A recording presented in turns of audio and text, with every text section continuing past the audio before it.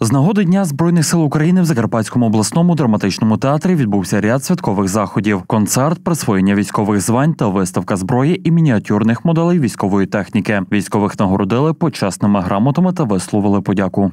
Було здійснене нагородження від е, командуючого нашого оперативного командування Захід. Були нагороджені військовослужбовці, волонтери, які е, віднеслися з повагою і допомагають армії, її розвитку, будівництву. Були так само нагороджені е, відзнаками голови обласної адміністрації обласної ради за заслуги перед Закарпаттям. От ветерани нашої військової служби, що теж мені дуже приємно, що їх не забули. От, також були нагороджені е, мною. е, так само ветерани, волонтери і військовослужбовці нашого гарнізону.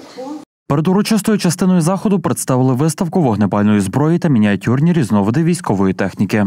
Це була виставка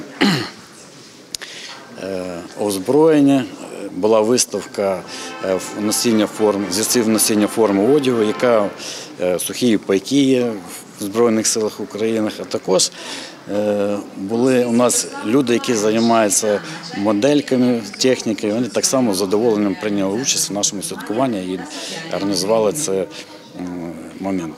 Олександр Товкан навчається в Мукачівському обласному ліцеї-інтернаті з підвищеною військово-фізичною підготовкою. В майбутньому планує вступити до військового вузу і стати офіцером Збройних сил України. Сьогодні він та його одногрупники долучилися до заходу, де також отримали відзнаки. Мотивація. Я люблю свою країну, люблю свій народ. Ну, Це моя ідея по життю. З дитинства я, мені подобається історія, політика. Це моє. Я вважаю, це моє. Ну а завершився захід вже урочистим концертом.